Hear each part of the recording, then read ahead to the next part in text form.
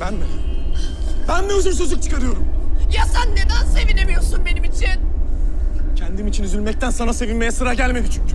Mehmet adamın kafasında tepsi kırdın tepsi. Çok iyi oldu. On üzerinden dört, bilemedim beş anca veririm ben o ite. O da senin hatırın için. Bir içine düşmediği kaldı ya. Senin de hoşuna gidiyor. Senin de hoşuna gidiyor, görmedim sanma. Bir yan gözle bakmalar, bir flörtöz gülüşler. Benim gözümün önünde yapma bari.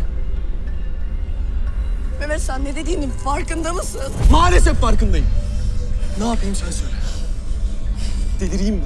Kendimi mi keseyim?